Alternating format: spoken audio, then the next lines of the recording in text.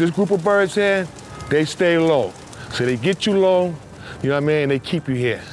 This group of birds here, they get you high and they keep you here. Canadians over there, they don't jab. They get you high, they get you low. But once we get you together, yo, you ain't going home. This is the forbidden zone.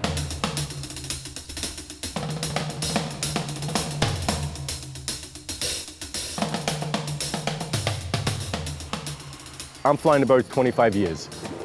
I'm a, I'm a bird brain, a pigeon guy, that's it. Now, I'm 59 years old.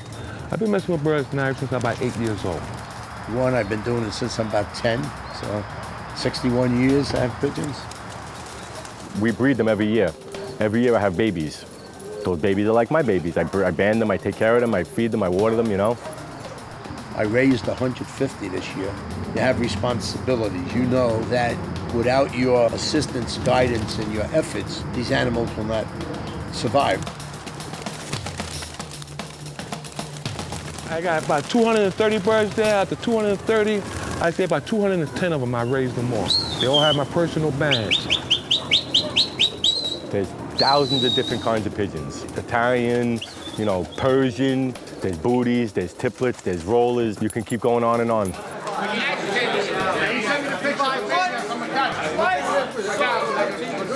Sitting back looking at the birds, it relaxes me. It relaxes a lot of us. I don't know if you know how what they say when you sit there and you watch a fish tank and it's real tranquil and soothing. And it's the same thing when you see the birds going around and around and watching them. I was in the tactical patrol force we were fighting anti-riots day and night back in the 60s. My solitude was going up on the roof on the weekends, uh, watching the birds fly.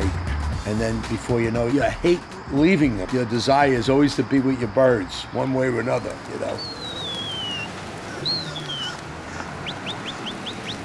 I shot dope at 13. I was in the drug program at 14. I did my first bid when I was 16. When all was said and done, the only thing that I had to fall back on was the birds. What kept me going, kept me motivated, was the birds. So there's quite a few of us that give birds a lot of thanks, saved a lot of us. The bottom line, at the end of the day, I'm always looking up. I'm always looking up at the sky. I'm always looking at who got birds, or what bird is that, or looking for the falcons or the hawks.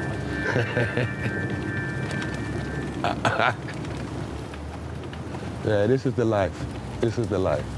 I wouldn't trade it for nothing.